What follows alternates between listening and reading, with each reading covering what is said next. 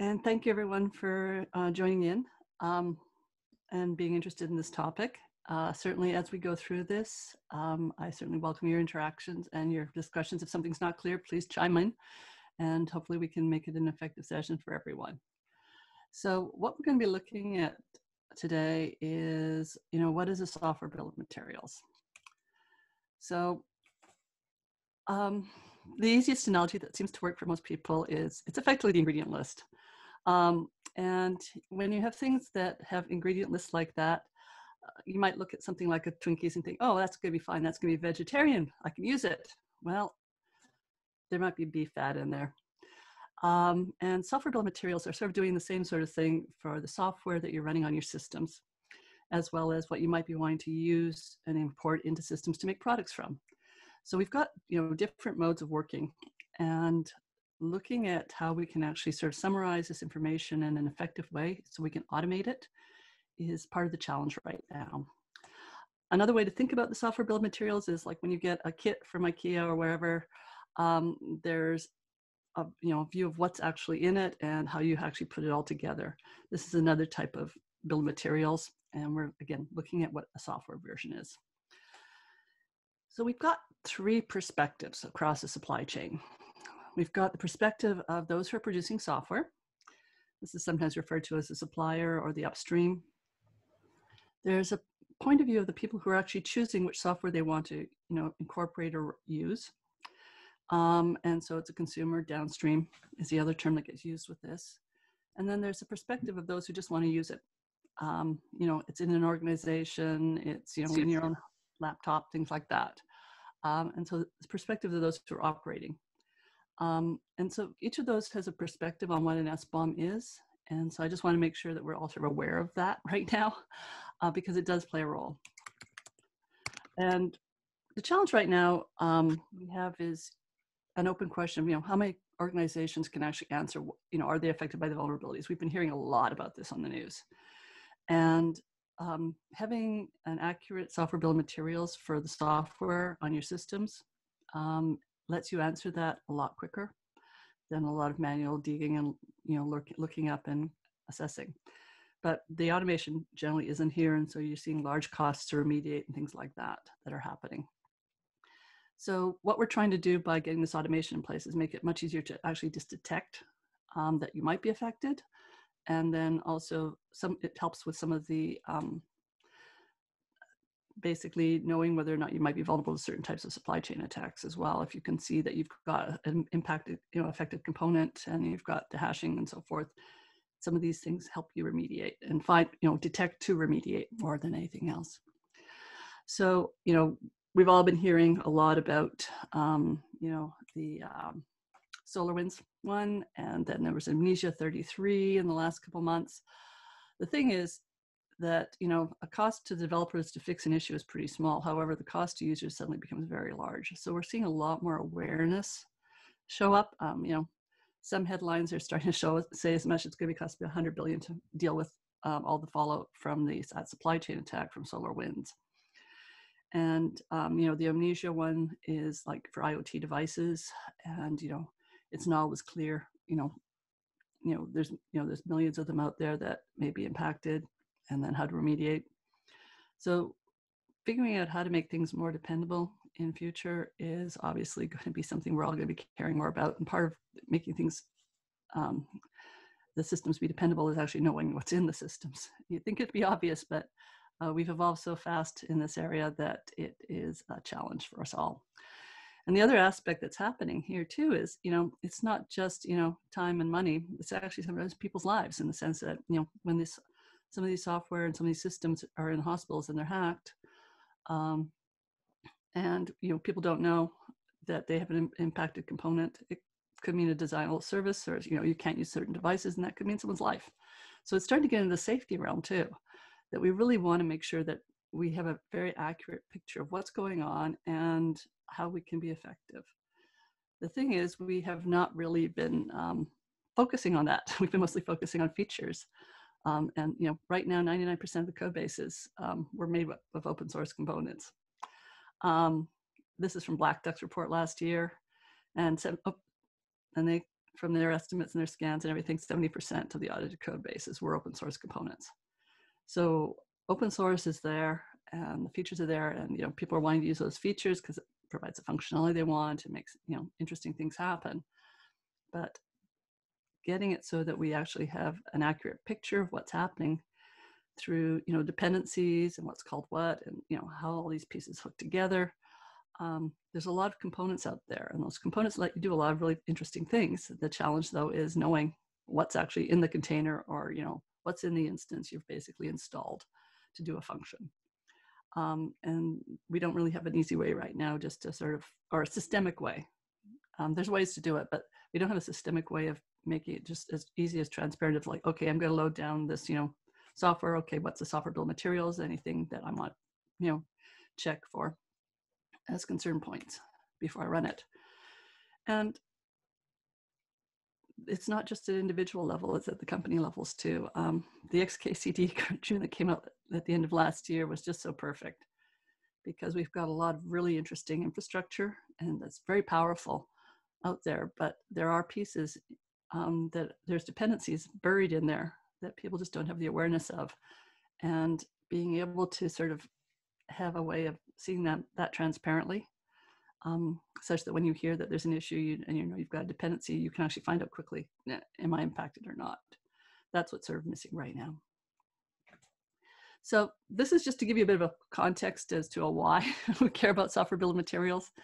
Um, the other challenge that's out there is that uh, there wasn't really a good definition of software bill of materials. Everyone sort of intuitively knew what they think they wanted it, but there what no one was really codifying it. And so a couple years ago, the NTIA um, took on the challenge to try to get a multi-stakeholder group together and figure out, okay, what is minimum viable? what is really a software bill of materials? And they're coming at this from the security perspective mostly, but you know, a lot of the issues have been here and there's been software bill of materials that have been important from the licensing use cases as well because you know in order to run um, open source you need to know what the license is and you need to be able to adhere to the terms of the license um, in your usage. So there's a lot of stuff already there in place from licensing and getting the, that aspect of built integrated and moving it forward um, has been part of the challenge that we've been working towards. So uh, a software bill of materials is can be including libraries, modules, open source, proprietary, free or paid, it's anything you're running on a system, we should be able to represent effectively and um, be able to query it. And so if you're curious about this type of information, I'd encourage you to check out NTIA's um, SBOM site. And there's more links in here too. And there's a FAQ about these types of things as well. But um, this group basically sat down and after many months of debate, uh, worked on coming up with a minimum viable. So this is, you know, uh, there was a group called the Framing Group um, in Framing Component Transparency. And so they sort of use this as a simple little reference example about, you know, okay, you've got your application and hey, it's um, including a buffer from Bingo and it's including a browser from Bob. And Bob's browser is including a uh, compression engine.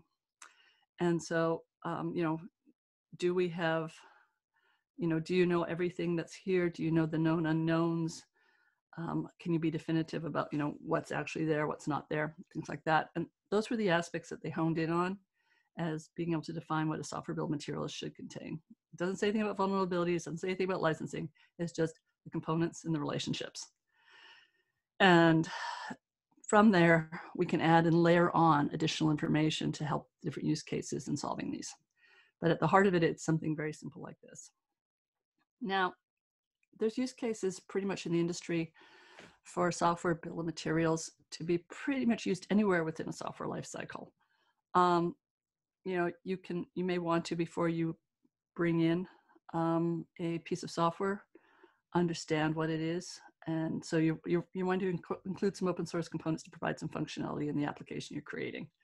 Um, being able to see what the software bill of materials is and the dependencies and the licensing and importing that might be done before you even start developing it. Um, you know, as you build it, you might want to generate it automatically so that you have a definitive source, which such that when you go and release it, or hey, you've got um, you've done some testing, you may want to you know augment it with the results and certifications and so forth. So, and then when you're shipping it, someone may asking you for the software bill of materials. So pretty much anywhere in the life cycle, we want to be able to set up the ecosystem so we can generate these things. And that's going to take some tooling. Kate, yeah. Um, we have a uh, question. Uh, sure. Uh, to raised hand. Uh, uh, William, would you like to unmute yourself and then ask a question?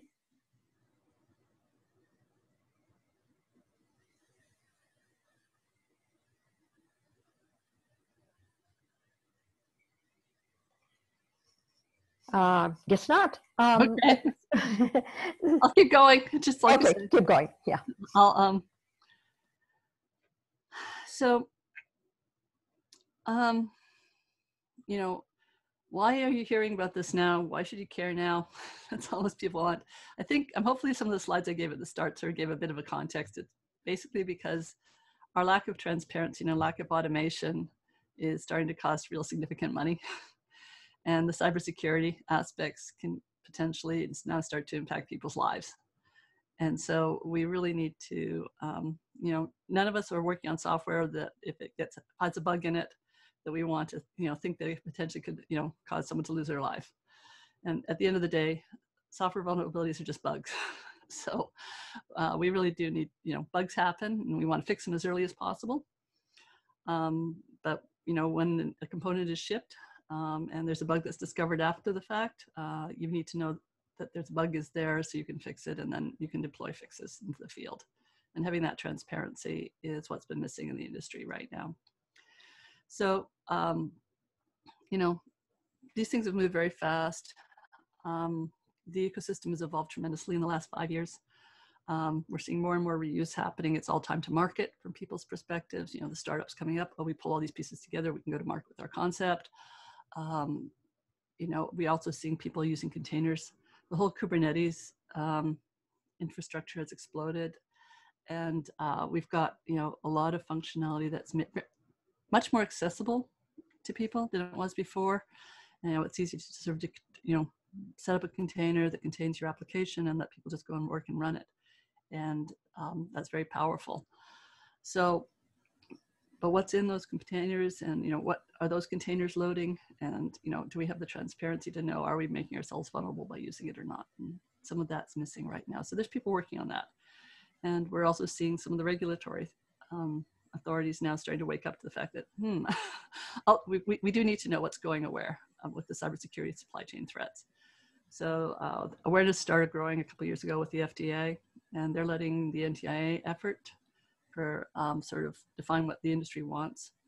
Um, they've given some guidance in that, in the sense that um, you know they're expecting to, in future, to be able to know what the software bill of materials is that's coming in with the devices. Uh, they haven't put a date on it or any you know specific wording, but um, they've signaled in joint meetings and indicated that it's important.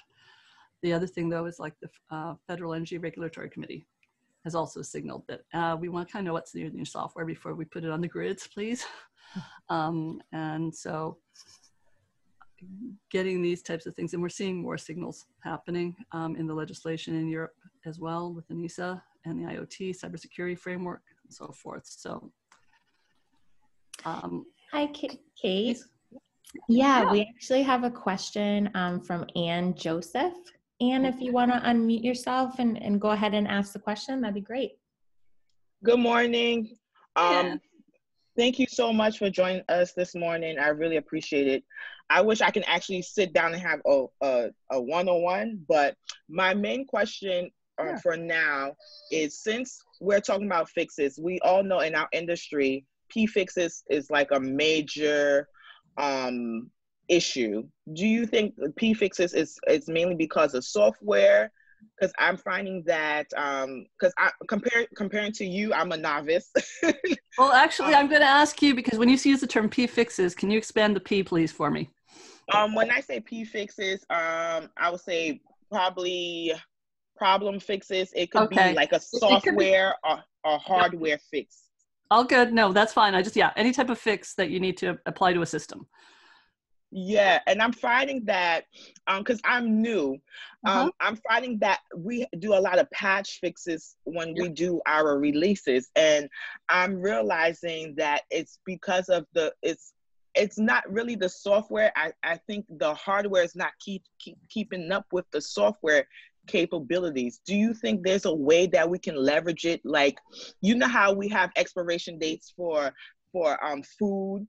Yep. Should we have like an expiration date for um, components uh, uh, of a server or a mainframe? This is actually a very active area of discussion um, in extending the uh, formats that are being used for representing this information. In fact, there's a group working in Japan that's sort of centered around the automotive industry, and they want to have something like usage.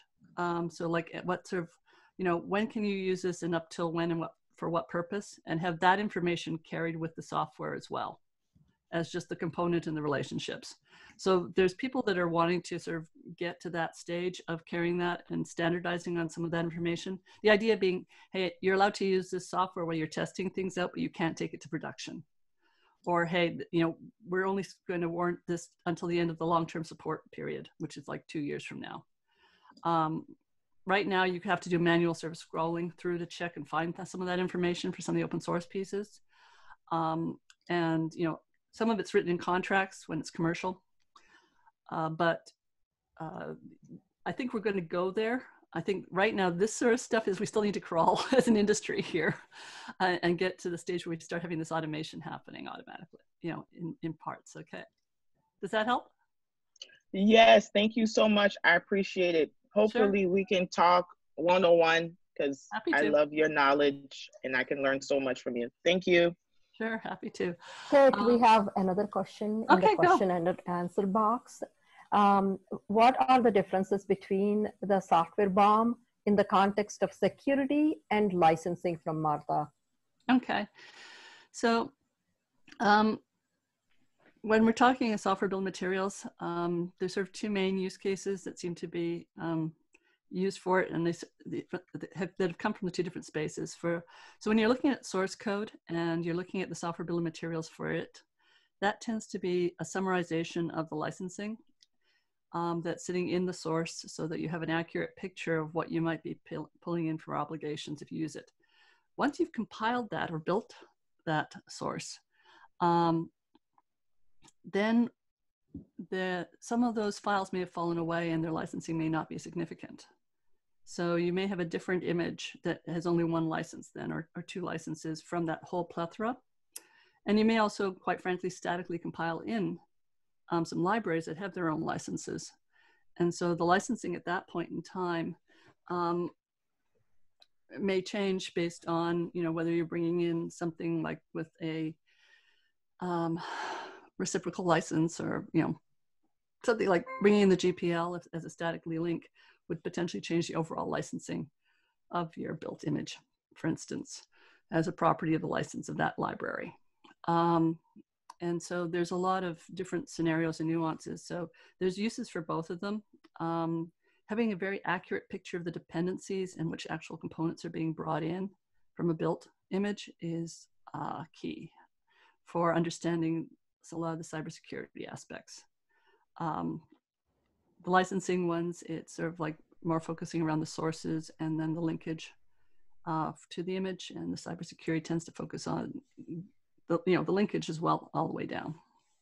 That's kind of how I keep it in my head at this point. Does that help? Okay, I'll try, I'll keep going anyhow and move beyond this.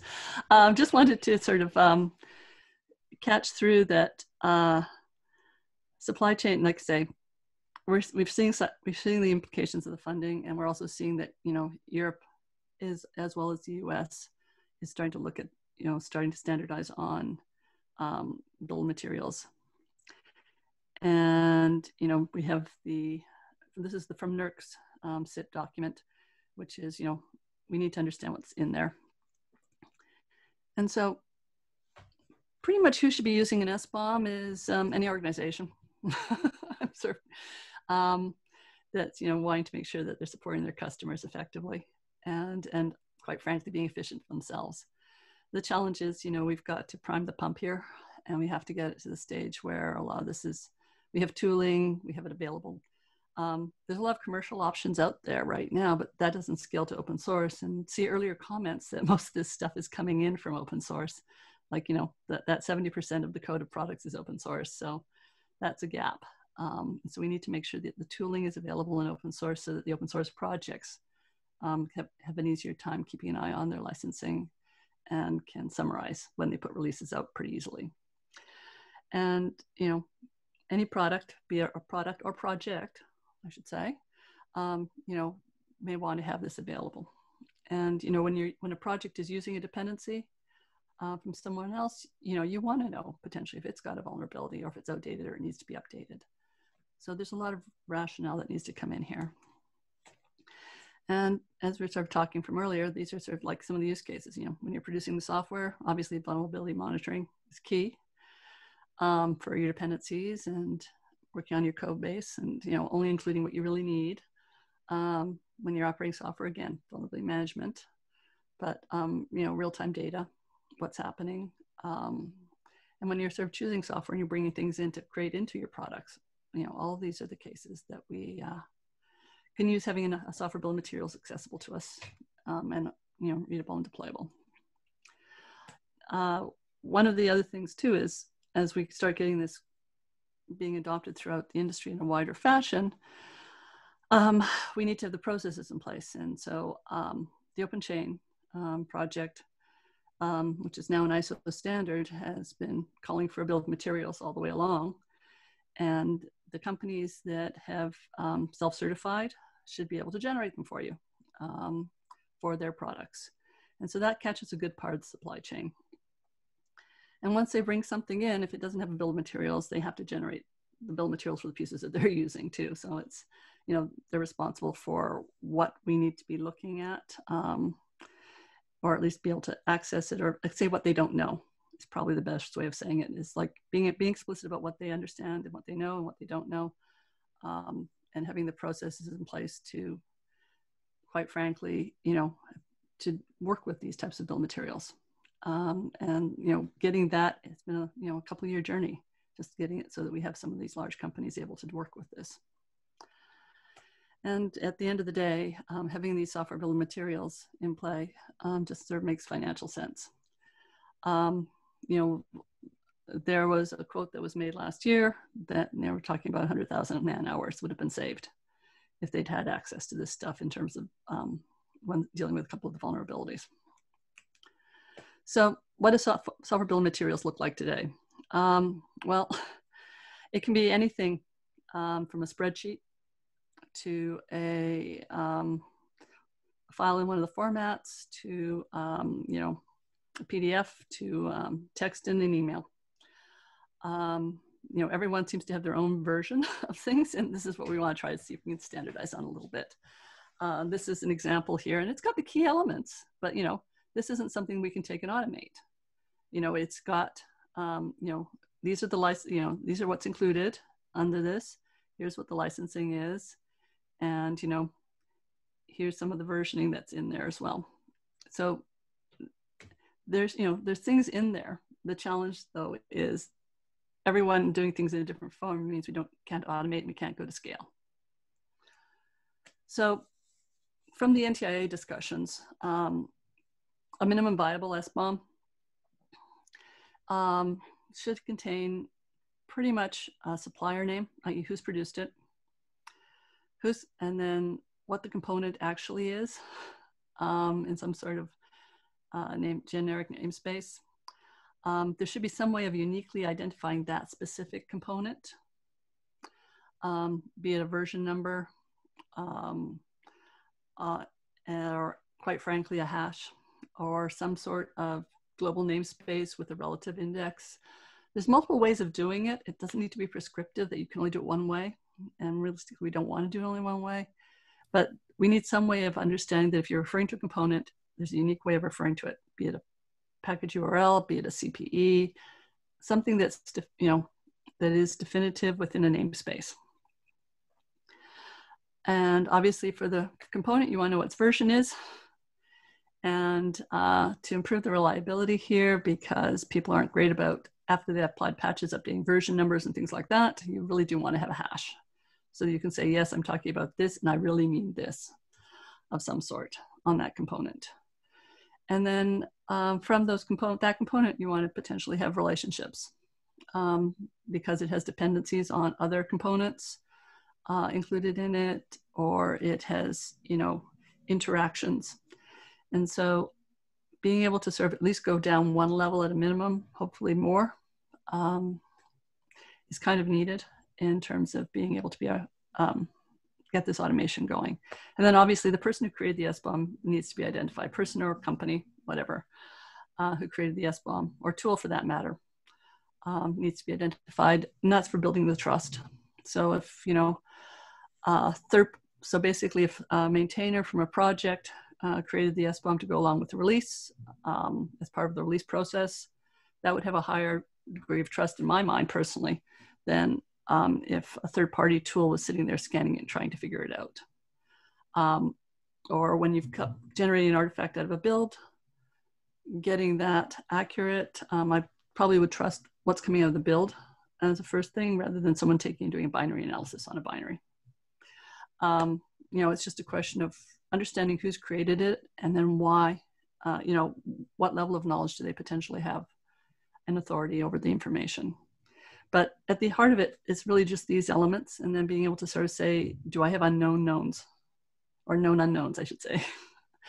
um, and if we've got the unknown knowns um, and known unknowns, we've got being able to signal that in some way. You know, is a set complete of the dependencies is what we're looking for. We have another question from sure. uh, uh, Julie. Uh, would you like to unmute and ask a question? Yes, this is Julie Cub from NTIA um, ITS in Boulder.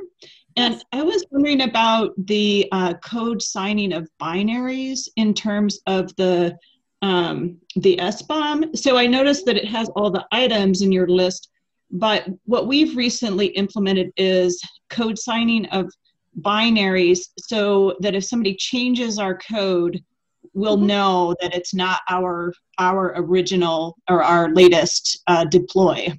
Yeah, the hash function is meant to sort of capture that type of thing, be it a hash or a signing, some way of basically authenticating it. There's also the signing of what's been given to you and the trust points um, between.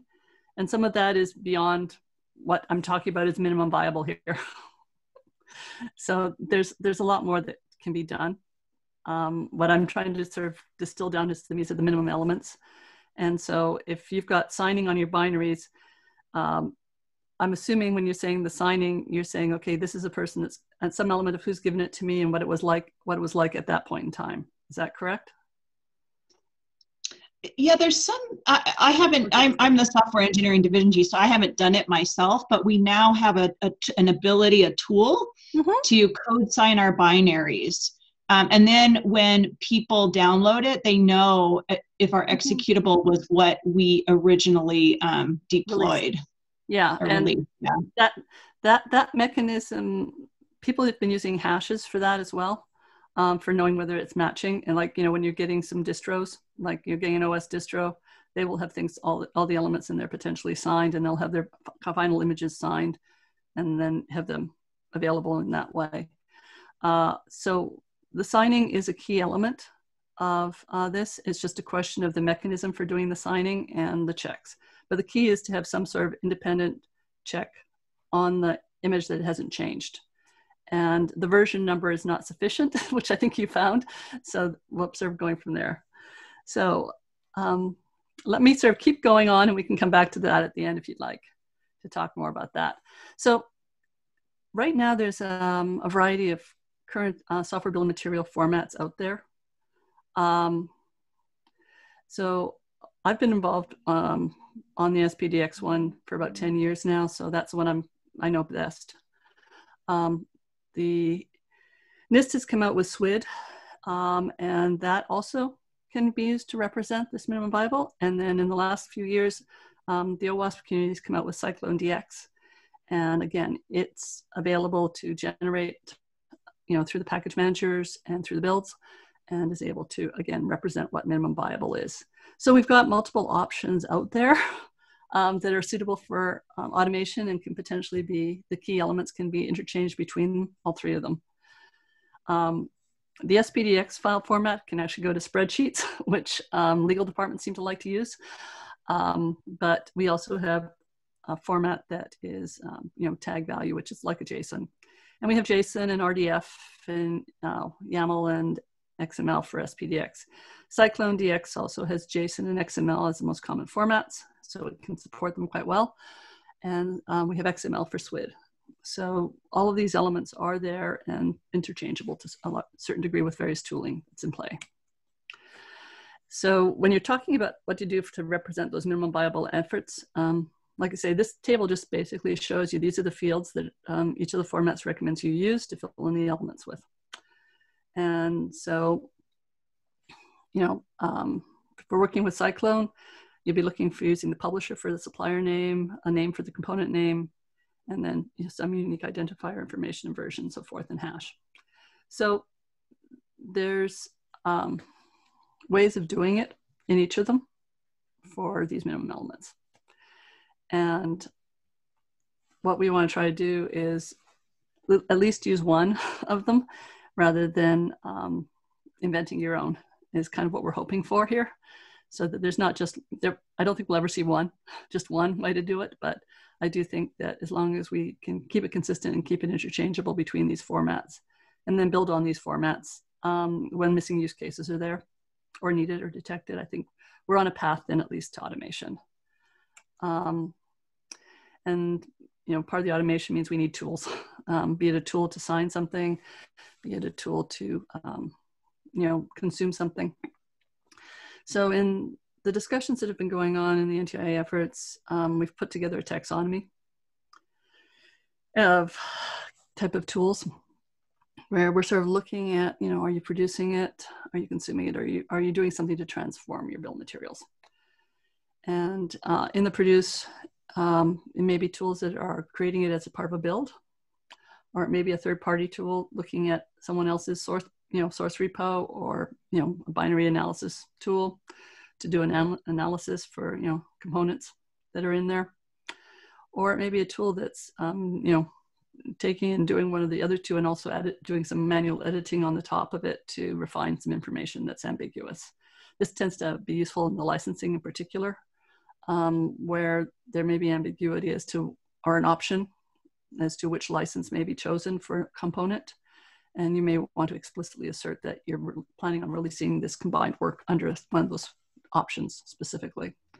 So that you can't really do that automatically. Um, so being some having some degree of edit on top of some automatic is usually where we're seeing things emerge that are productive. Um, then you may want to be consuming it into your, you know, be able to look at it.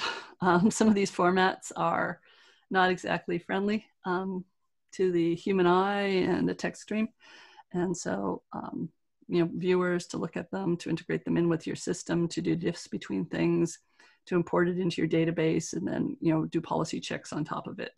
These are all types of tooling um, that's potentially useful. And then um, being able to translate from one format to another or from one file type to another file type.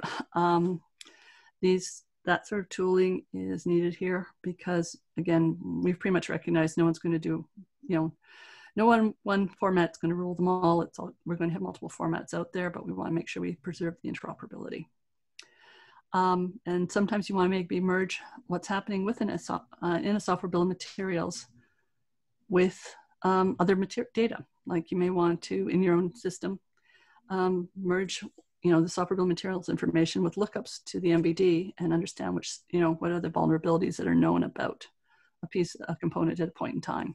And you might be tracking that internally in your organization. So, you know, and you may or may not need to, you know, release a report on some of that information.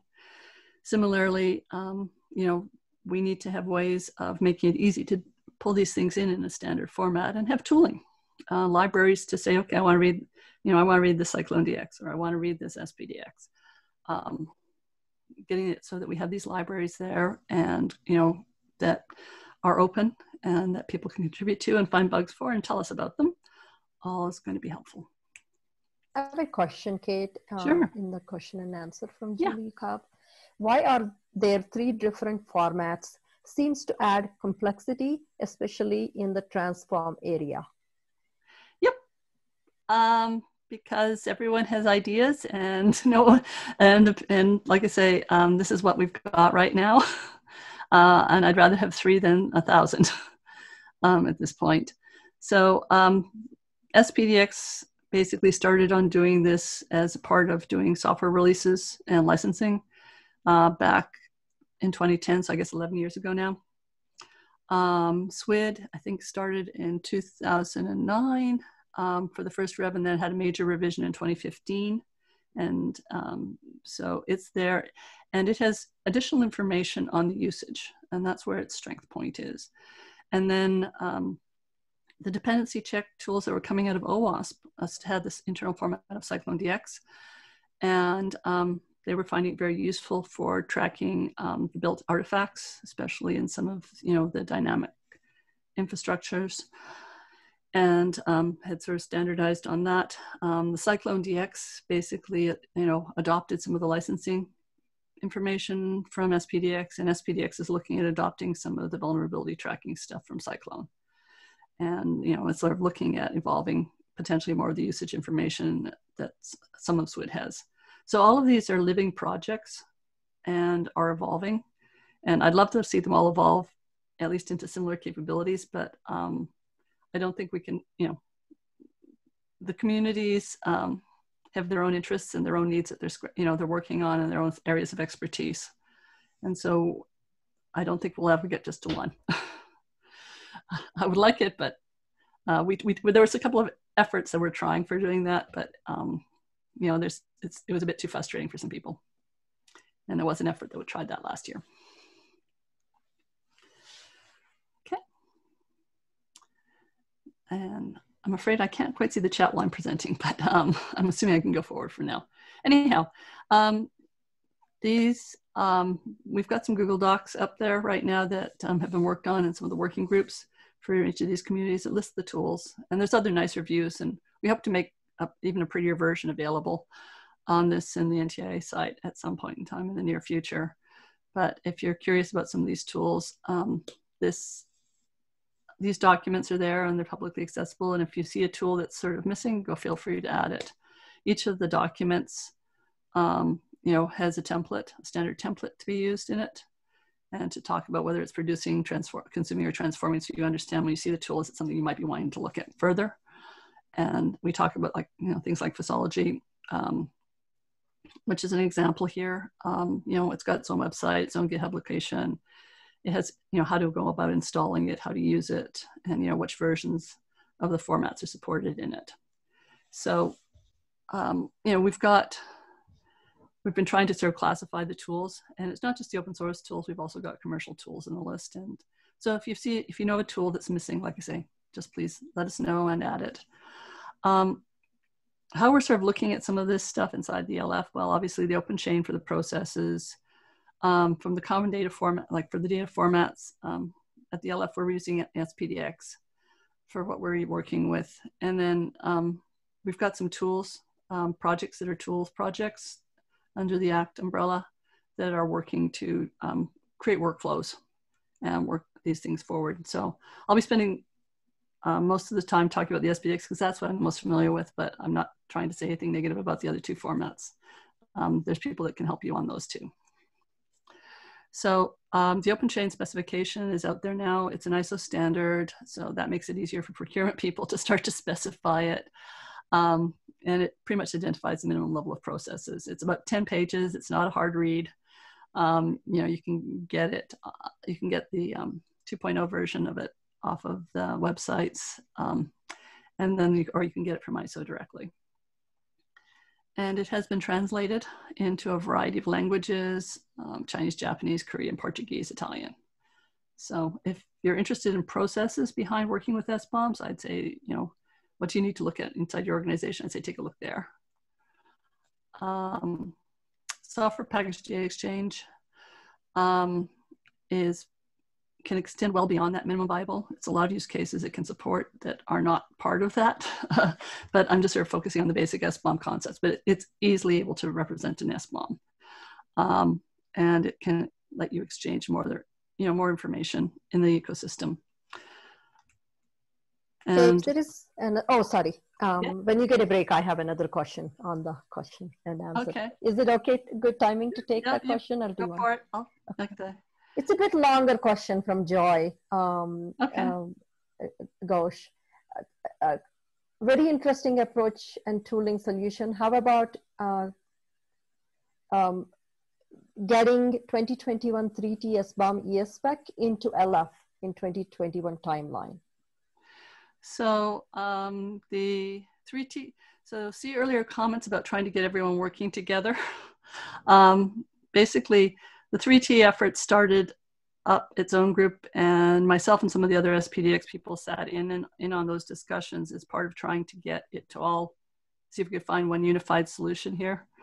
And um, there was, um, you know, I think we've got certain things sort of reconciled. And so the new, ver new version of SPDX, SPDX3 is going to be containing a lot of the 3T, um, some of the 3T ideas. We've refactoring SPDX3 so we've got 2.2 right now we're working on, and for SPDX3, we've refactored it to just be a core, a basic core, which lines up with sort of what you're seeing here and lines up with some of the stuff that we saw on the um,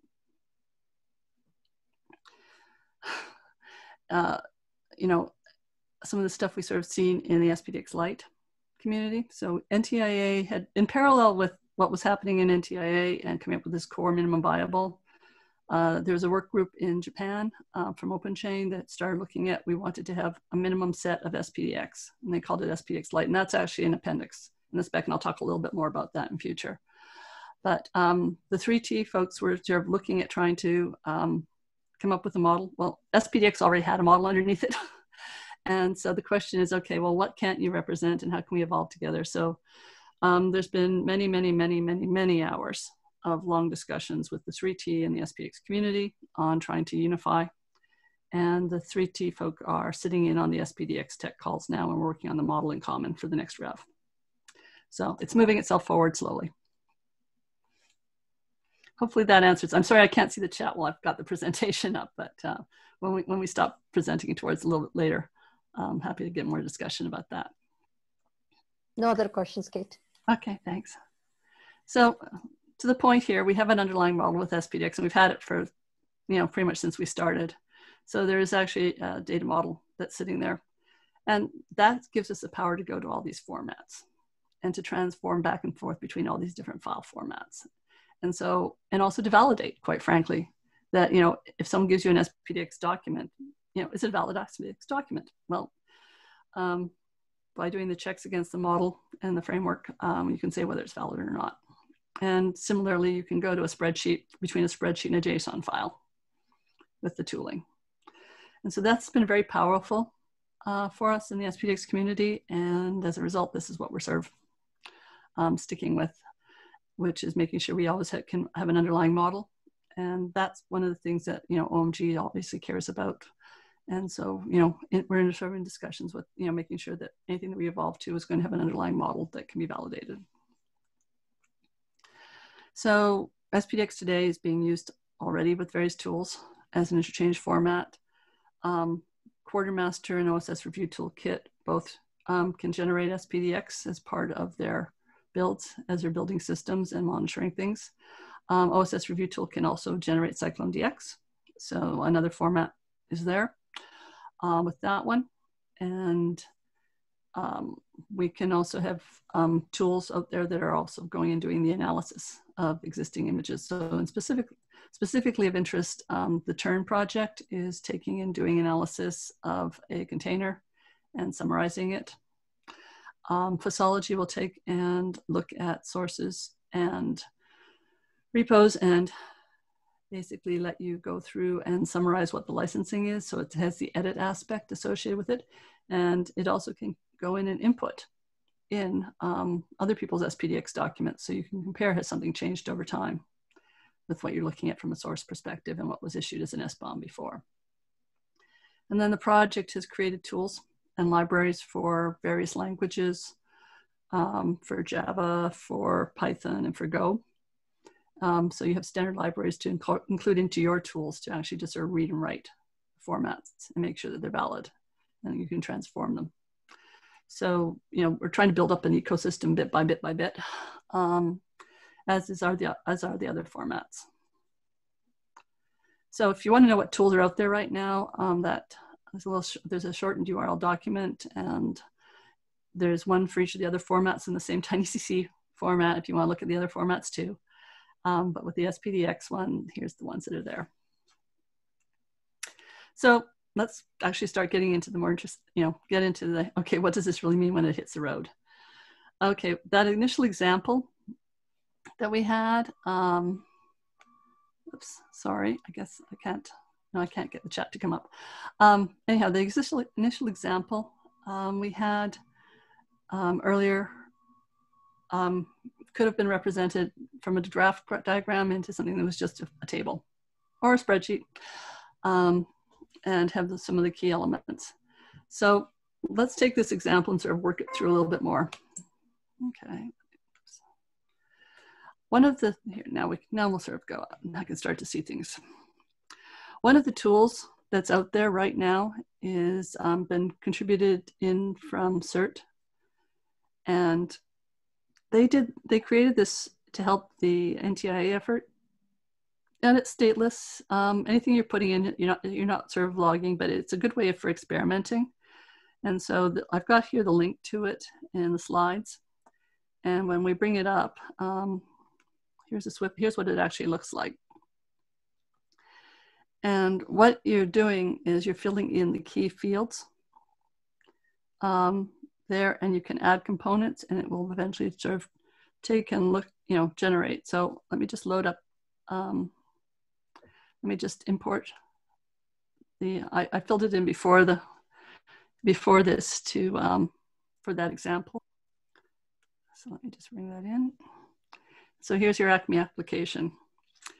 And what you might want to do then is you've got your component name application, which is your primary. And then you've got saying that this is your primary component. And then you've got Bob's browser, Bob's browser and its version, and you've included it. And it is uh, parents component is primary. And then you've got um, the um, Carol's compression engine, and its parent is actually the browser. And then we've also got um, the bingo buffer um, that's, you know, related to the application. And actually, um, it's actually a compression engine, now that I see about it. So this is, you know, and so if you go and click on this to generate the SBOM, here's what it looks like in SPDX right now. And so you've got the SPDX information. And this tool will also show you what it would look like in SWID and what it would look like in Cyclone. And they've also got the JSON versions. This tool implements the JSON versions. For the SPDX ones, you're gonna have to go to another tool, but I can show you that in a minute too. And it will show you a graph. So if you wanna start experimenting with the different formats, this tool just lets you sort of start experimenting with the minimum viable and looking at these things and um, we'll generate a valid SPD, you know, all the valid formats. So when I go back, let's see, this is one of those things where the website is interesting because it doesn't seem to quite go back to that top level, but I'll just close it here. The other thing that's of interest here is um, the SPDX Lite is got a very similar concept um, than the minimum viable does. And it does include here the SPDX Lite fields. And so if you wanted to, you could extend this and uh, fill in the SPDX Lite fields, which then makes it easier for you to import into systems that already have um, SPDX and are expecting this. And so some of the um, companies have been asking for it. And so this will let you experiment with it, see what it looks like, figure out some next steps, that type of thing. Kate, we have three questions. Oh, wow. Okay, let's see. I think I can actually see the chat now too. Good. Okay. So um, the first one is, are there any ideas for the process how software suppliers transmit the SBOM info to the to customers, like a fast disclosure portal? Question mark. um, yeah, there are some ideas on how to um, convey the information um, to the suppliers.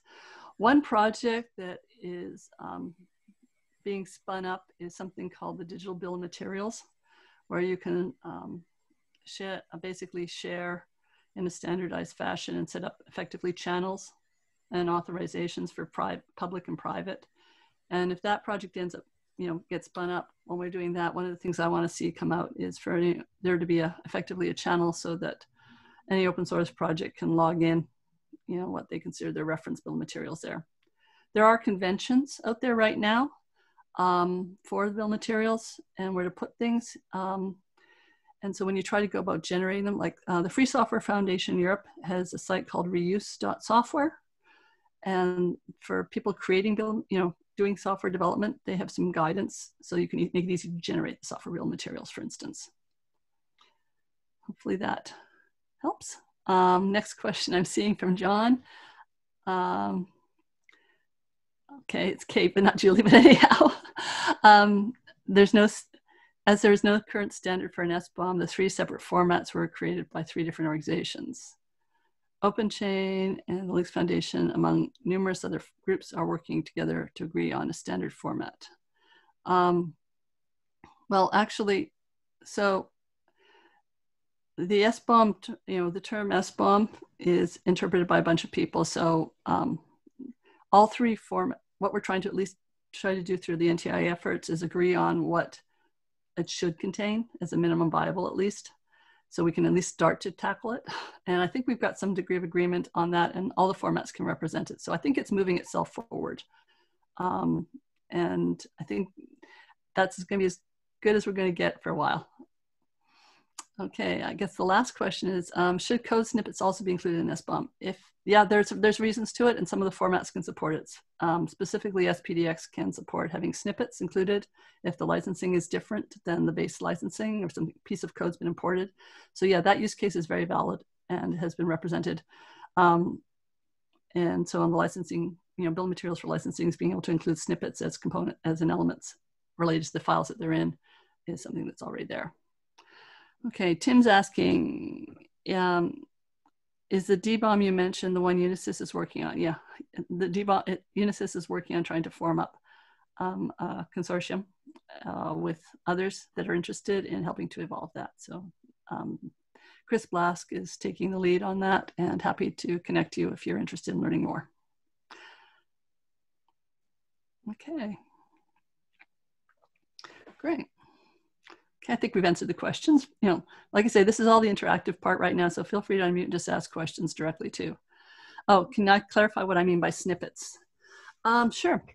So what a snippet is, is it is a couple lines of text um, that might have been included from somewhere else. So there's a lot of re repositories out there that say, you know, hey, how do I do this? And somebody goes, oh, they'll type these two lines, or you know, Here, here's this here's this little you know phrase of Python code, um, and then someone takes that and cuts that out and puts it into the application they're running. That's a snippet, um, in the sense that it was probably put up on a different license terms than the types of terms that you know they may be releasing their code under. It may be the same, but it may also be different, and so sometimes it's useful to be able to you know call those things out. Hopefully that helps. Okay. So what we've also got here, let me go back to the slides and I'll just sort of do it that way, this way here. So as you can sort of see, um, you know, when we actually take and, you know, we're looking at that example, um, not going to have anything generated, but let's see if this will work. with SPF. Yeah. When we start looking at it, we can, we can, we can basically see the compression, you know, we can see the same graph that the initial diagram was having. And uh, it was a nice feature just to be able to have these graphs and you can download these things and examine them further yourself. Um, the other tools that are out there to play with um, and are useful and there's the diagram, yeah, just in case things are not gonna work. Um, the SPDX Lite, if you hear about that, um, the specifications out there, and it's just a subset of the fields, and those are the fields you saw when you expanded it out. And what it's just defining is a valid SPDX document. It's not like it's not, but these are the fields that um, various people want to see when they're bringing in products. And so they basically articulated these were uh, the fields that they were looking to see, and some are mandatory and some are optional.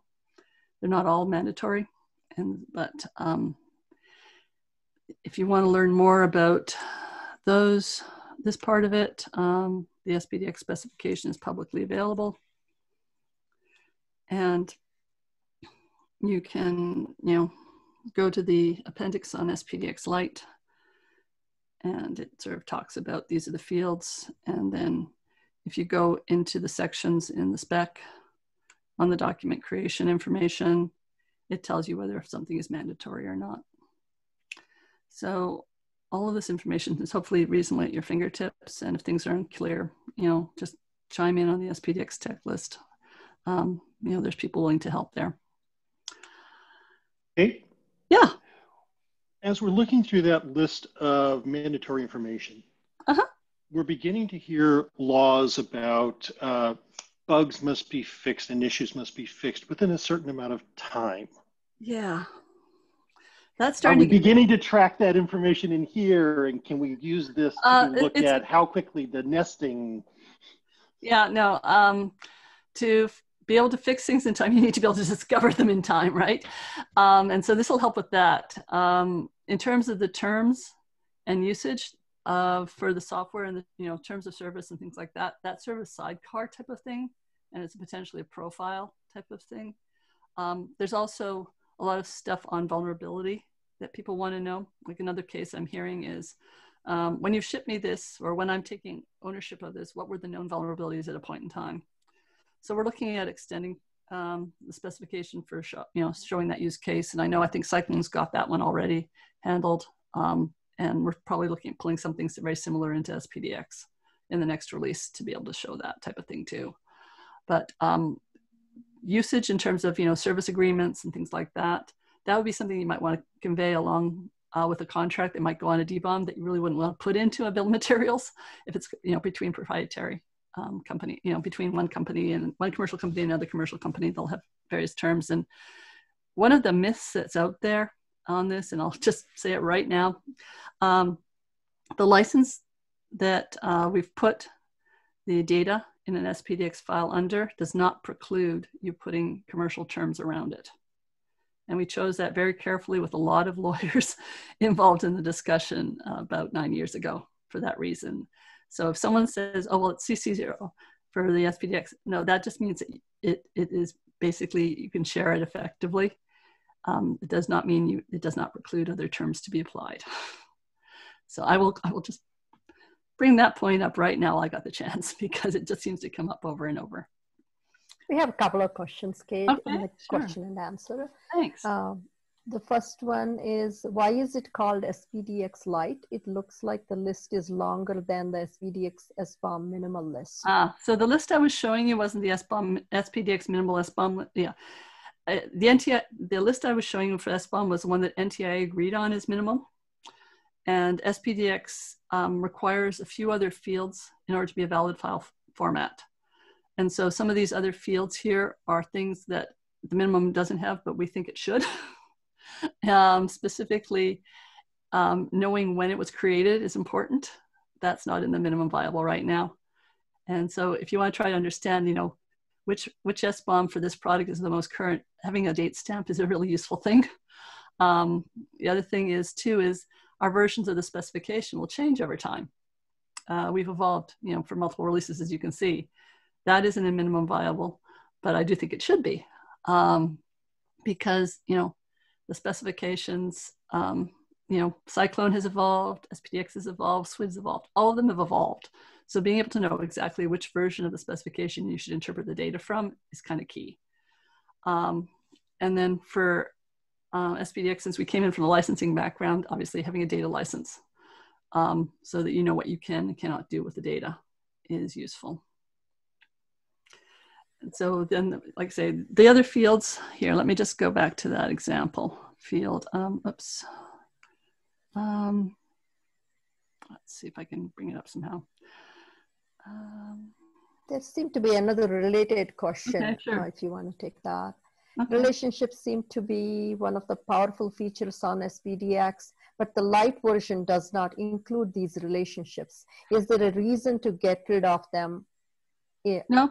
light profile? Uh, no, actually, it's um, the Lite profile can use all the relationships that are in SPDX. Um, if the if the people working on the Lite profile want to sort of standardize on on the level plus one, um, they're certainly welcome to. Um, and the includes profile is there. We use it contains if for includes in SPDX. And so you can certainly, you know, match up with the minimum viable, um, but it's really useful to know if something is statically linked or dynamically linked. And so being able to uh, work with that and have that type of information, um, I, you know, I kind of like to see that as Cyclone evolves in this direction, that maybe we can collaborate and making sure that we have coherent sets of relationships that we are working to both both projects they are working towards because they are useful. And like I say anything get things that have gotten added to SPDX have been added because someone had a use case and we couldn't solve it with what was there so um, all the relationships of things that have, people have wanted to be able to represent in the builds or you know build dependencies of things like that that are important for understanding what's going on um, Okay. Thank One you. more question. Uh, okay. Sorry if that's okay. Should COTS components um, also be included in SBOM? Okay, uh, Vaishali, uh, you want to expand on what you mean by COTS components here? I, I, would like, you know, I've got an idea in my head, but I want to double check here. Can you unmute and just sort of chat with me?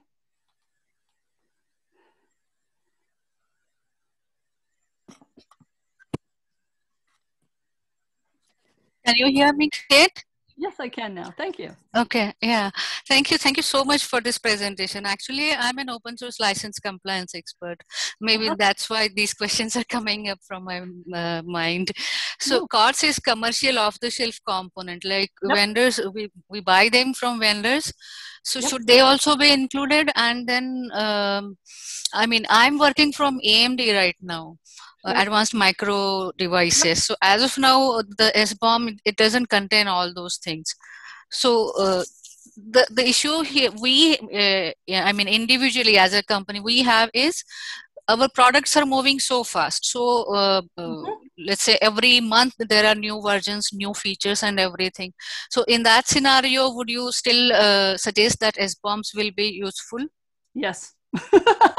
Very much so, yes. Um, yes, yes, yes, yes. Um, okay. There's nothing to preclude you representing a commercial product with an SBOM.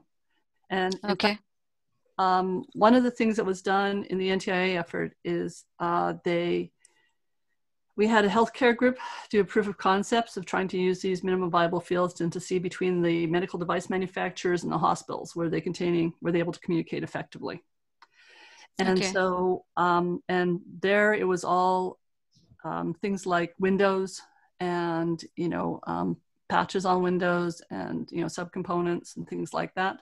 And that was all done on behind NDAs um, just because, um, you know, some of the bill of material information is considered um, you know potentially an issue uh, from mm-hmm. device manufacturers but okay. there's nothing like I say that's what i mean like you can represent this information in these SBOMs um, you know it's just a matter of coming up with okay what's it called well it's windows called windows and it's called this version of windows and oh hey there's a uh, you know a hash or a signature on the image so that you have it to know okay. it has attached um, all of these concepts should be able to be applied to commercial software as well as and off-the-shelf software as well as any open source Okay.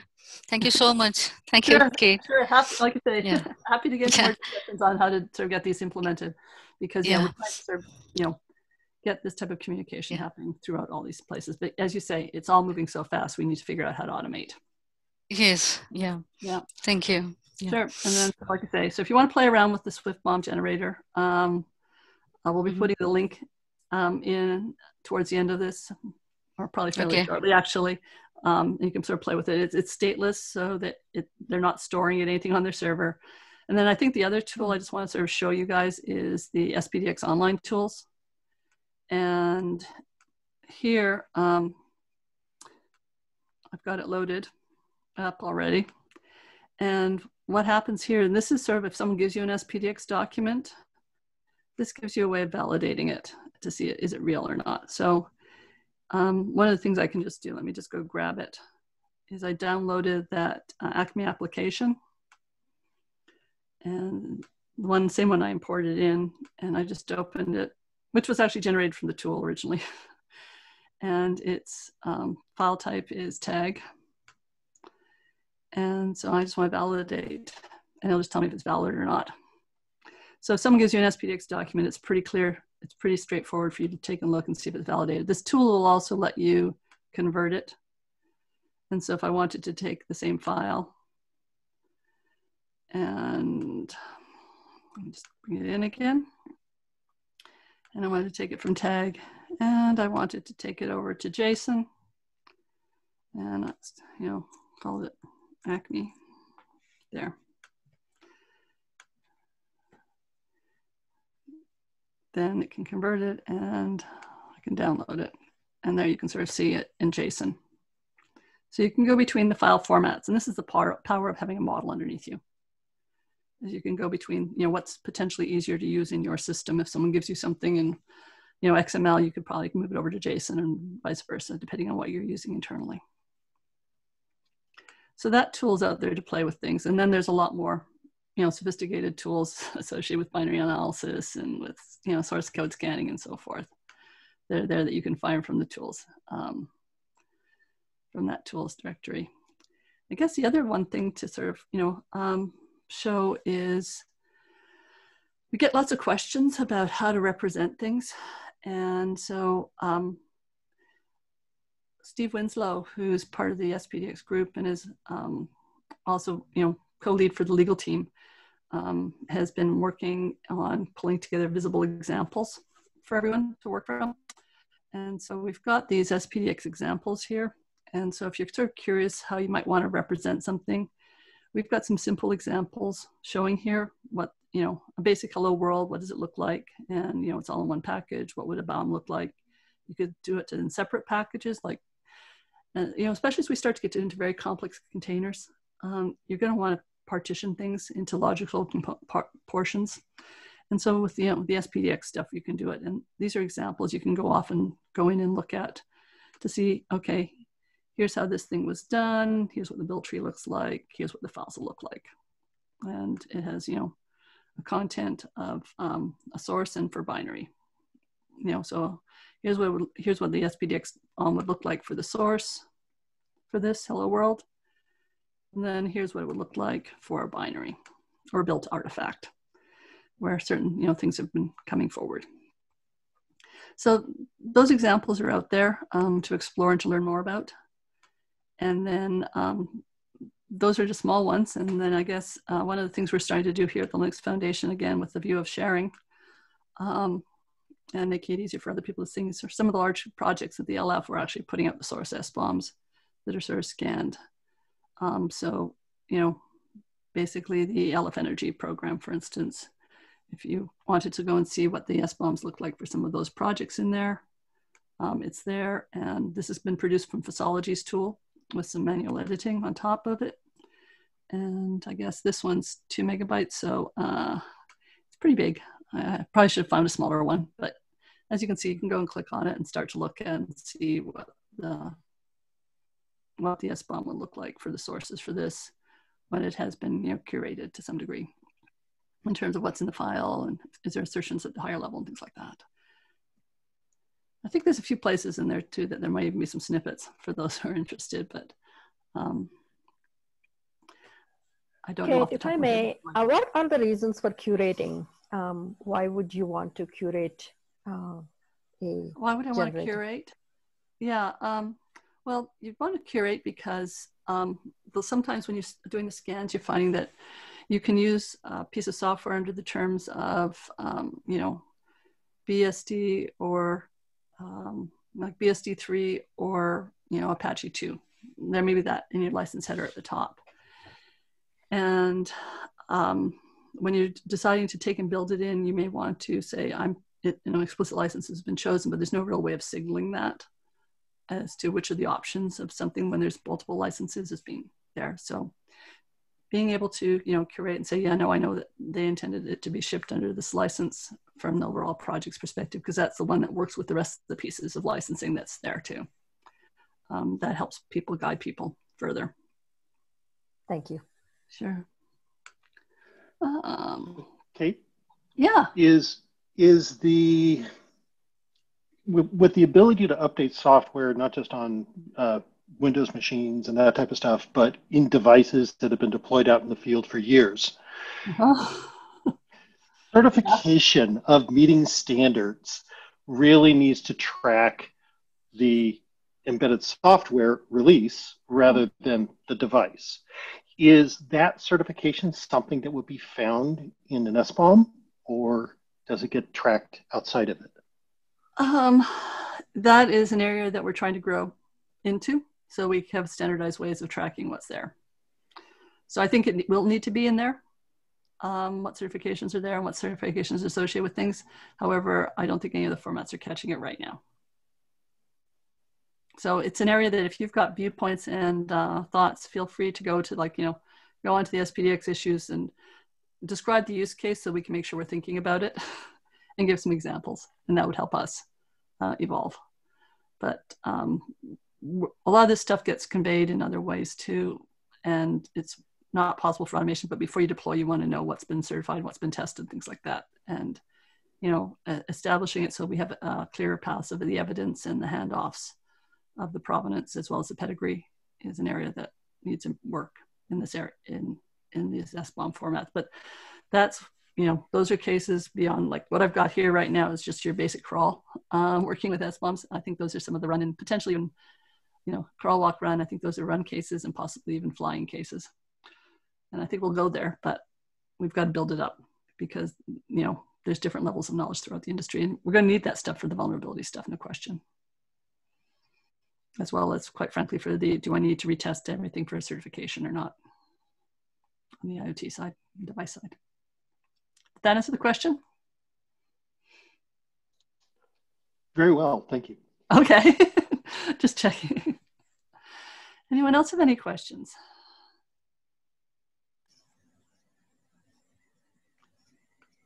Don't see, oh, um, there is a question that came in. Okay, sure. Uh, in the in the question and answer? Uh, the granularity shown up to now is at the package and module level. What cases do you recommend to go to the file granularity level?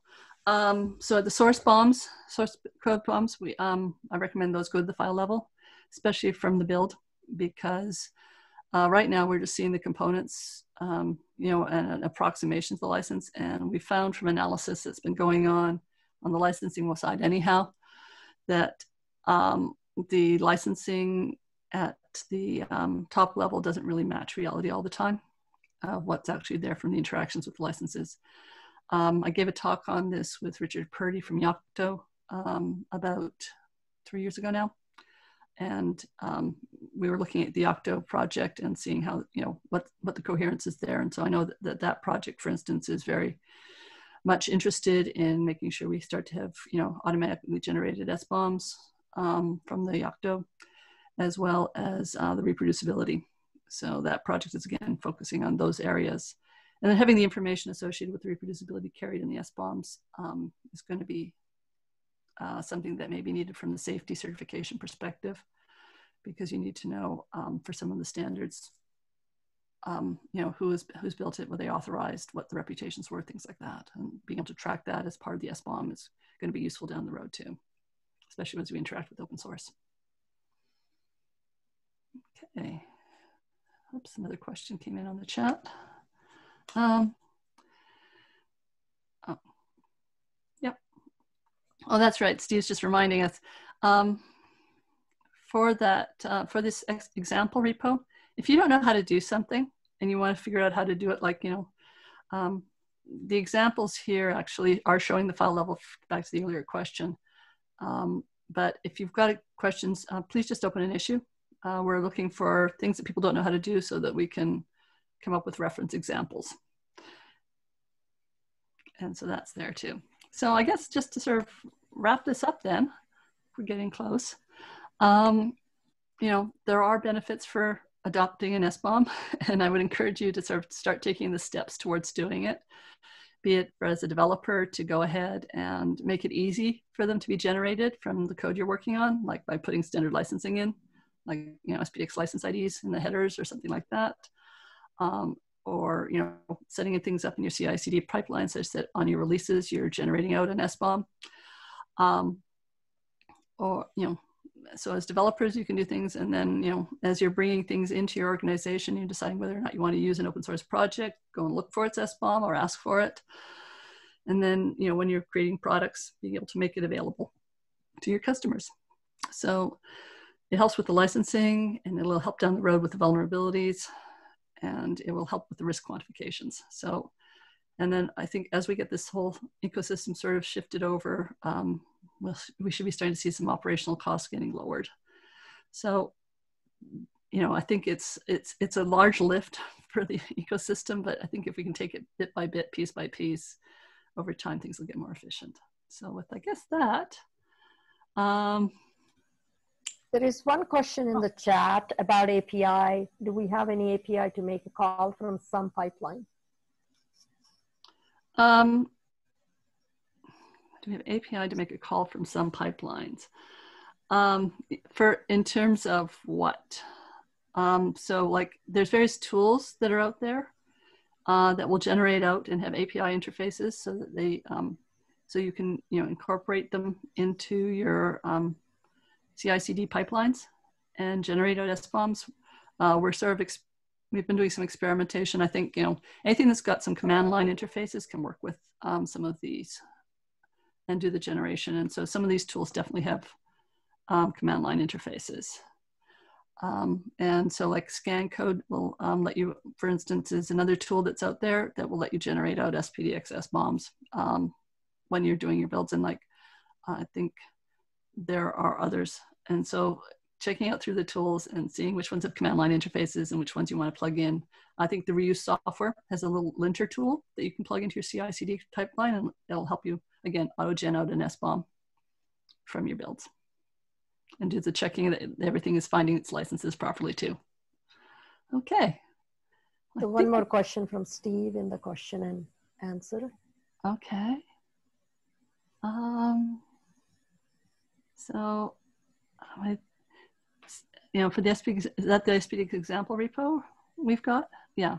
Uh, sorry, uh, Kay, uh, how would it benefit uh, an open source project and community to create SBOMs for their own project releases? That's the question. Oh, how would it? Um, well, Debian has its version of this already and has some degree of compatibility with us. Um, quite frankly, uh, it benefits by being able to keep the discipline on the licensing checks it means you suddenly keep your code usable.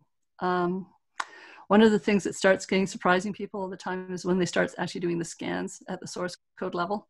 Uh, they find that pieces have been brought in from other projects because it was convenient and that may not be compatible licensing.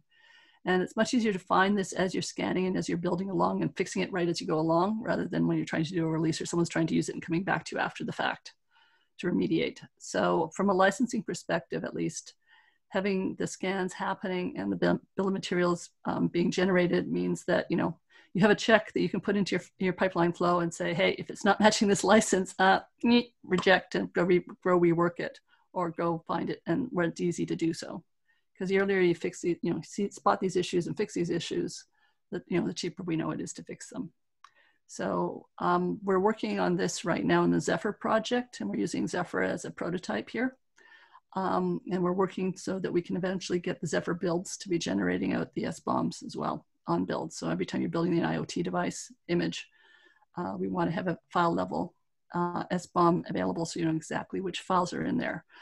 Um, one of the cases that pointed that out, we needed this uh, for us was um, Amnesia 33 in that certain um, software stacks uh, were impacted. And in our LTS on that project, we did use part of one software stack, but we didn't use it at we didn't use the parts that were impacted. And so we had our own code for those parts, but we needed to be down at the file level to understand whether or not vulnerability was appropriate or not within um, the Zephyr release.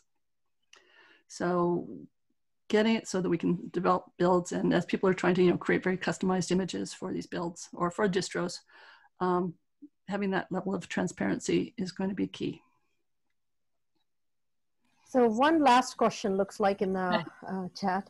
In the actual source code we have standalone components. What is the most straight way to have information stored in order to generate an spdx document for the product? Um, so um, the reuse software um, uh, project has worked up guidance on how to start to articulate the licensing and um, some of the reference information that's valid from an IP perspective into your um, source. So tracking the inf key information in the source file with the source file is definitely the preference. And then the tooling will automatically generate out. If you, if you follow the reuse guidelines, you can generate out an SBOM, right, with their lint tool. And we've taken that information and those guidelines and have applied that to the Linux kernel. So if you look at the Linux kernel, you'll see that we're following the guidelines there of how to, where to put licenses, where to put, you know, the identifiers, how to connect everything together. Um, and we're doing that in Zephyr as well. So if, like I say, I encourage you to look at the Linux kernel, for what's been happening there. And then, you know, there's a whole bunch of other projects that have adopted the license IDs anyhow at this point now, so it's easier. And the more we have the IDs adopted, the less sort of guesswork happens as to, is it this license or is it this license variant or is this license variant? I think uh, Philippe Ombredanne did some, uh, has a, did a study of it and the number of variants that he found with his scanning tools is actually quite disturb, disturbing.